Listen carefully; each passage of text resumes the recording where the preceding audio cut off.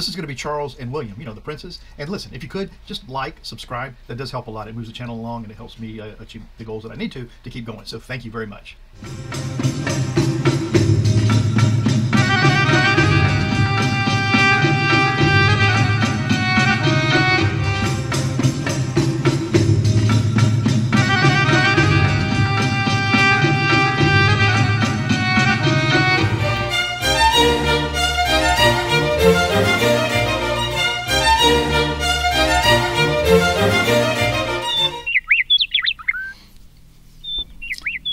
Hi, I'm Marc, and this is my journey through tarot. Come on.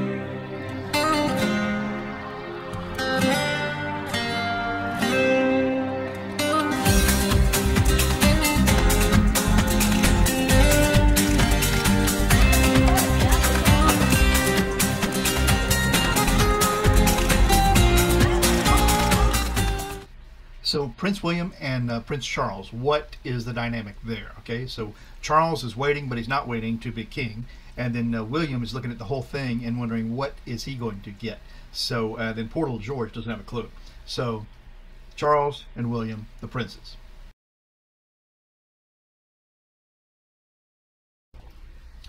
So Prince Charles, um, you know, he already has said that uh, Andrew won't re- be returning to royal duty. You know, it's over for Andrew. So Harry. So Harry has to be looking on at that and saying, "Oh yeah, that's exactly where my future is. If there's some reason that I need uh, the crown to back me up, you know, is that that's that's where I am. That's that's my stability." So stability. So it's a good time. Let's let's ask about Prince Charles and the Andrew situation, and then let's talk about William and the Harry situation, and see what the cards tell us.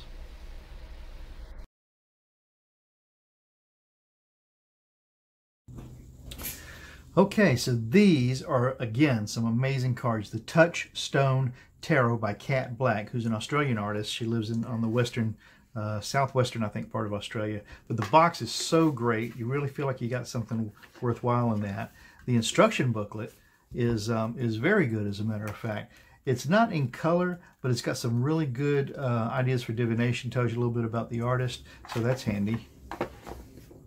And then the cards, I mean, look how beautiful they are. Even just the back is gilded. You can feel that gilding right there. But the front, these cards are not hard to decipher, but they really focus in on the face.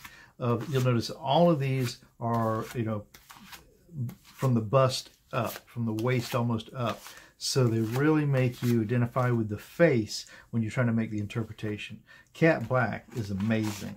Um, I don't know how uh, she came up with this, but she came up with some beautiful, beautiful artwork and all digital. So there's not a painting somewhere that looks like this. Of course, these are made from actual uh, paintings. And you know, I, I do this so that everybody can look at these cards and maybe you don't get to see uh, kind of different kind of cards. And, um, and this gives you that opportunity. I always wanted to see what the tarot readers were using, what the cards looked like when I was uh, only just uh, being a viewer. And that's exactly what we'll do. We'll see what is going on uh, with Charles and his own brother. Charles and Andrew. And it's so funny. They don't see. Look at these. This what fell out here. Two young uh, siblings. It looks like.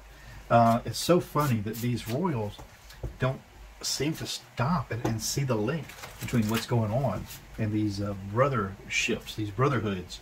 You know, um, Charles and Andrew are giving the perfect example to William and Harry as to why maybe Harry better always look out for his own butt, or else he'll always be, um, you know, crying to the crown for help. So I think this is probably going to be pretty revealing. So this is going to be Charles and Andrew. And then I'll do another, this will be a dyadic cross, so six cards. And then I'll do another dyadic cross for William and Harry, and then maybe something else after that, but I don't want to say right now. We'll see how this goes. Charles and Andrew. Charles and Andrew. Let's take six cards. One, two, three, four, five, six. And I guess the thing with Charles and Andrew is Charles is in the position of needing to trim down the uh, monarchy, and uh, that'll uh, he'll that'll uh, he'll probably feel like that'll make him feel popular. The the public will like that. And so Andrew has given him no other choice but to do that. It's almost karmic, and it's just like this is what has to happen. So Charles and Andrew, what's the signifier for that relationship? Uh, that is the Nine of Wands, and the Nine of Wands is just you know um, kind of being on the outside. You can see this wall right here. Uh, this um, this uh, woman is holding on to a wand, which wands are actions, plans, uh, forward motion, um, and she's but she's on the outside of the wall, and you would presume that's the castle inside. And look at all the actions and the plans that are inside there. Well, she's been left outside of all those plans. She has a plan of her own, but she's pretty much been left outside to fend for herself. And so this is uh, Andrew. This is Andrew, absolutely. So the uh, challenge to that then is uh, the devil. Of course it is. If that's Andrew, and uh, what's gotten him into all this trouble to begin with is the devil. Wow, that's amazing. Uh, the basis of this reading then is the uh, the magician. So this is good because the uh, you know just having the monarchy behind you, you would almost feel like you've always got that magic card, that magic something. So many things uh, that can be used to help you out. that um, that this would be it. And so this magician is right down here at the base of the whole thing. And I think that is that represents the monarchy. And in the past of this reading, uh, we have the two of coins. Oh yeah, of course it is. It's trying to keep all this stuff balanced, keep these values balanced, and that's what's having to happen right now.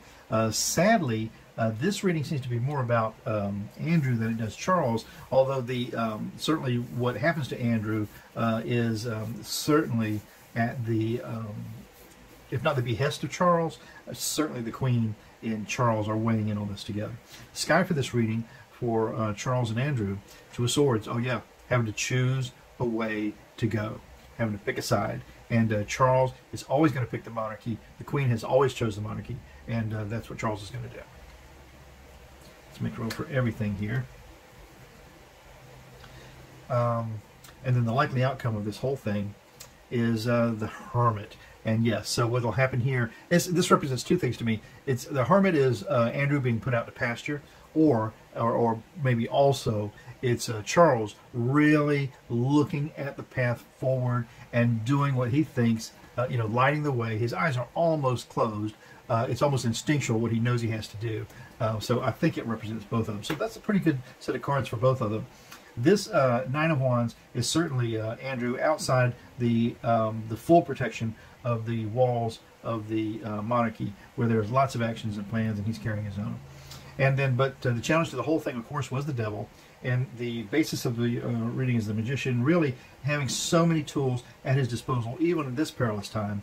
And then uh, the past was the two coins. There's always having to weigh uh, between the two, but there's always no doubt that which of the two were going to be on top. Uh, the sky this reading is making that choice, you know, making that hard truth justice choice, and then the uh, likely outcome is the hermit card for both of them because it, it leaves Andrew on his own and it puts uh, Charles in a position of looking towards uh, the future with that uh, lantern of the monarchy. So we have that. So now we'll look at William and Harry and see what this tells us about those two. And that's in the correct order. You know, William is the top dog. Harry was always the spare, and now uh, he's not a necessary spare any longer. So William and Harry William and Harry. What can the cards tell us about you two? So William has the awesome uh, duty of looking at what's happening towards the future of the monarchy, but he, what he may not uh, understand or may not um, seem apparent to him is he has this grace period right now where he can uh, just be a brother, you know. But I'm sure he's getting lots of pull from the um, from inside uh, to stand with the monarchy and uh, emulate his father. Uh, and uh, they probably feel like they're both going through the same thing. I can just hear the conversations. You know, oh my gosh, my brother, and Charles, oh my gosh, my brother. So, yeah. So let's see what we have here for William and Harry. So six cards, two, three, four, five, and six, William and Harry. What can the cards tell us about that relationship that's going on right now? Um, William and Harry. What a shame that seems. The signifier card for for that relationship, William and Harry. Three of Cups. So this is very interesting because uh, Three of Cups is uh, you know cups are passion, emotion, and uh, the the Three of Cups represent celebration. Now, although in this card, I have to say that someone seems like they're a little off to the side. you know, they're not quite as included uh, as the other two. So uh, for the relationship of William and Harry, uh, these celebrations seem to be not so comfortable. The challenge to that then is the Five of Cups. And the Five of Cups is perfect because, again, we're still in cups. It's very hurtful with these two. Uh, this is the first time I will say that William has experienced a deep cut from his brother, whereas Charles uh, had a lifetime, you know, of seeing uh, how his brother's actions have affected uh, the monarchy. So, uh, so yeah, for William, this is still very emotional. That's why we have all these cups. The self uh, is a little bit outside of the celebration, really not quite being able to come together, and uh, and then you know looking at what we've we've got to clean up, looking at the mess that's made that we're left behind with, and then uh, and then having to carry on. I think not seeing further past that is the issue. The base of this reading for William and Harry then is the Ten of Coins, and you know what? The Ten of Coins is happy family. The base of this reading is that at some point this was a wonderful relationship. It was working so well, and the family was clicking along just the way it, could, it should have been. And I think that uh, William is stuck in uh, wanting that back. And then the um, past of the of the reading here is the Moon card, which is secrets being revealed. You know, you know, all the stuff is coming out that you didn't think of was so important, and it is important. And it's better to face it now than to let it fester. The Two of Cups is up, up in the sky here, so that's great because the Two of Cups is getting together, you know, uh, making a union. Uh, and, and, look at all the cups again. And, um, and that's where we're aiming for. That would be the best thing. And you have to think that William thinks that too. Uh, it's somewhere uh, in his heart. So the Two of Cups is, uh, you know, uh, making a, a, pact, a union. And the likely outcome of this William and Harry situation is the Page of Wands. And the Page of Wands is, the, you know, wands are actions, plans, forward motion. And the Page is just the very weakest of the um, of the court cards. So I would say that this these plans for moving forward are just just at the, the very weakest they can be. They are in the realm of the court, but they're not anywhere near uh, as important as if a knight was carrying or a queen. So that's where we are with William and Harry. Um, I don't know. Do we have another question in this in this reading? Let's see. Let me think about it while I put these cards back together. And um, I want to find out regarding this William and Harry. Let's just draw three, maybe four cards to see if um, Prince Charles and Prince Andrew and Prince William and Prince Harry, if all the decisions that everyone's making uh, for each other is going to affect the other one in a positive way. That's what I want to say. So we'll take four cards to see if Prince Charles, Prince uh, Andrew, Prince William, and Prince Harry find a way that the, the answers that come out of all this um, uh, is an obvious benefit to everyone. The first card up on that is the Ten of Wands, and it's a big, heavy load to carry. And I want you to notice that there's a woman carrying that load. And I've always felt like Kate was the one who was going to be carrying water for this monarchy for the, all of her life. So that's um, Ten of Wands, a big, heavy load, but it's possible. Look at that; it's able to be carried forward. So I'm wanting to know if the decisions that these two sets of brothers make uh, affect uh, uh, some realization in each other. The second card up then is the Two of Wands. So that's interesting. The Ten of Wands and the Two of Wands. And the Two of Wands is, you know, wands again are, are actions, plans, mo moving moving forward. And the Two of Wands is I like to think of always as kind of short-term uh, plans. Um, the third card in this uh, Charles, Andrew, William, uh, Harry is the World. And so the third card, the world is completing a cycle. We've done the whole thing. We've made the whole trip, and it's time for something new to happen. But it's been, um, it's come to a completion. And the fourth card in this is the King of Cups, and that's uh, compassion. And um, so these two men, uh, Charles and William, are the kings. I mean, they just are. And the king uh, has to come forward with a, a nice cup of compassion, and we see that he's even uh, broken into this lovely uh, pie to share for everyone. So that's a very compassionate thing to do. So I would say that the answer to that is certainly very much yes. Uh, we've got an even distribution of the weight being carried by women, and then completion, and then the kings uh, uh, in the end understanding that this opportunity for compassion and nourishment uh, is here for all. So that was a nice way to end the thing, as a matter of fact. So, and the, the final question was, uh, will the decisions of two sets of two brothers and other brothers uh, all affect each other? And we started out with the Ten of Wands in that it's a heavy load to push forward, but who's carrying it? The women are carrying it. And then the um, uh, the next card that came up uh, was the Two of Wands, which are short-term plans, and again in the hands of the women.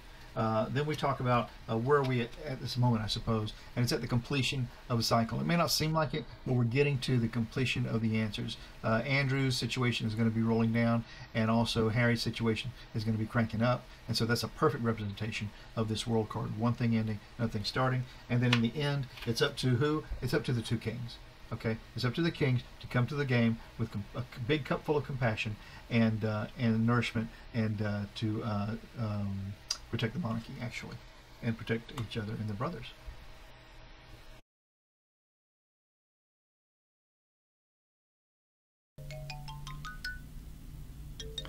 I'm Marc, my journey through tarot. Tomorrow's another day. Stop by, we'll do it again. Ciao for now.